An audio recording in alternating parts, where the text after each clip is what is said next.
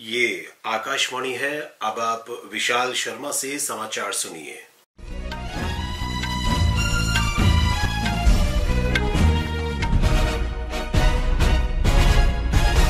राष्ट्रपति द्रौपदी मुर्मू ने कहा है कि पिछले दस वर्षों में स्वच्छता अभियान एक राष्ट्रव्यापी अभियान बन चुका है। राष्ट्रपति ने आज उज्जैन में सफ़ाई मित्र सम्मेलन को संबोधित करते हुए प्रसन्नता व्यक्त की कि मध्य प्रदेश के कई शहर सफ़ाई मित्र सुरक्षित शहर घोषित किए गए हैं। राष्ट्रपति ने कहा कि स्वच्छता से ही देश स्वस्थ और विकसित होगा।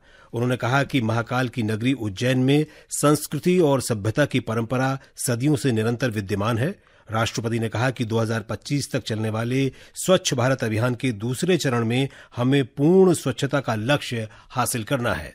कार्यक्रम में राष्ट्रपति मुर्मू ने पाँच सफ़ाई कर्मियों को सम्मानित भी किया। उन्होंने इस अवसर पर उज्जैन और इंदौर के बीच छह लेन वाले राजमार्ग के निर्माण के लिए वर्चुअल माध्यम से भूमि पूजन किया।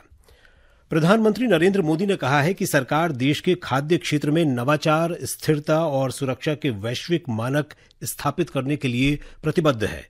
आज नई दिल्ली के भारत मंडपम में आयोजित वर्ल्ड फ़ूड इंडिया 2024 प्रदर्शनी के अवसर पर एक वीडियो संदेश में प्रधानमंत्री ने कहा कि भारत में एक जीवंत और विविध खाद्य संस्कृति है।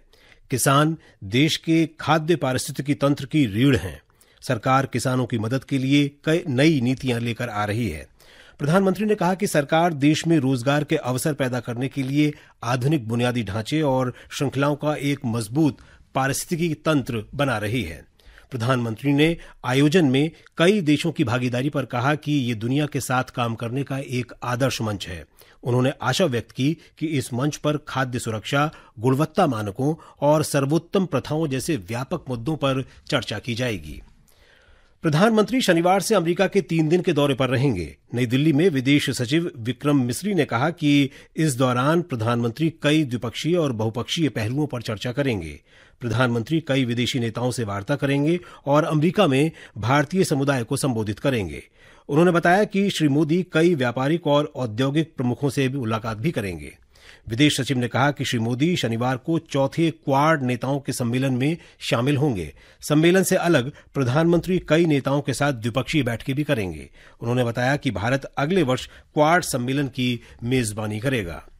सड़क परिवहन और राजमार्ग मंत्री नितिन गडकरी ने आज कहा कि सरकार का लक्ष्य हाइड्रोजन के उपयोग से आने वाले वर्षों में लगभग 22 लाख करोड़ रुपए के जीवाश्म ईंधन के आयात को कम करके लगभग चार लाख करोड़ रुपए करना है।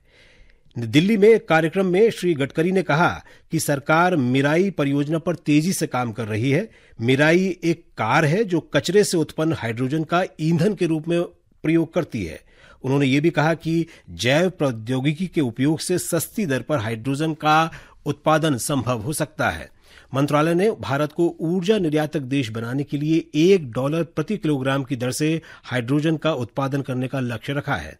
श्री गडकरी ने राष्ट्र निर्माण में कृषि के महत्व पर ज़ोर देते हुए कहा कि हमारे किसान केवल अन्नदाता ही नहीं, बल्कि ऊर्जादाता, ईंधनदाता और हाइड्रोजन दाता भी हैं, क्योंकि वे पराली के उपयोग से जैव एथेनॉल उत्पन्न करने में सक्षम है। केंद्र सरकार कृषि अनुसंधान और तकनीक पर अगले महीने से कृषि चौपाल नाम से रेडियो और टीवी कार्यक्रम शुरू करेगी। आकाशवाणी और दूरदर्शन पर प्रसारित होने वाले कार्यक्रम का उद्देश्य किसानों को नवीनतम कृषि अनुसंधान और तकनीक की जानकारी उपलब्ध कराना है। कृषि मंत्री शिवराज सिंह चौहान ने आज नई दिल्ली में कृषि मंत्रालय की सौ दिनों की उपलब्धियों को बताते हुए इस कार्यक्रम की घोषणा की। श्री चौहान ने कहा कि किसानों से सीधे जुड़कर वैज्ञानिक उनकी समस्याओं का समाधान करेंगे। केंद्र शासित प्रदेश जम्मू कश्मीर के विधानसभा चुनाव के दूसरे चरण के लिए प्रचार जोरों पर है। प्रधानमंत्री और भारतीय जनता पार्टी के वरिष्ठ नेता नरेंद्र मोदी ने आज श्रीनगर में एक चुनावी सभा को संबोधित किया। उन्होंने लोगों से जम्मू कश्मीर में 25 सितंबर को होने वाले विधानसभा चुनाव के दूसरे चरण में रिकॉर्ड संख्या में मतदान करने की अपील की। हरियाणा में एक ही चरण में हो रहे विधानसभा चुनाव के लिए प्रचार तेज हो गया है। विभिन्न राजनीतिक दलों के नेता रैलियाँ कर रहे हैं। चेन्नई में भारत ने बांग्लादेश के साथ पहले क्रिकेट टेस्ट मैच के पहले दिन ताज़ा समाचार मिलने तक छह विकेट पर दो इकहत्तर रन बना लिए थे। रविचंद्रन, अश्विन तिहत्तर और रविंद्र जडेजा उनचास रन बनाकर खेल रहे हैं। इसके साथ ही यह समाचार बुलेटिन समाप्त हुआ।